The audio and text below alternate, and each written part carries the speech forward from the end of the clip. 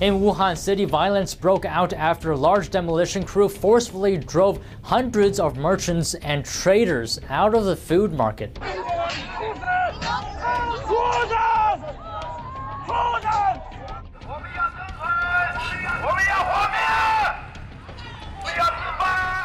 Earlier in November, local authorities issued an eviction notice to all tenants.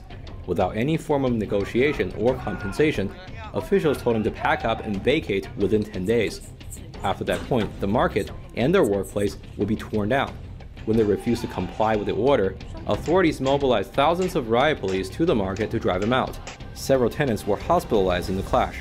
Authorities said that the demolition was due to what they called safety concerns, According to some tenants, the city has yet to arrange compensation. Instead, officials stationed part-time security guards there to monitor the area.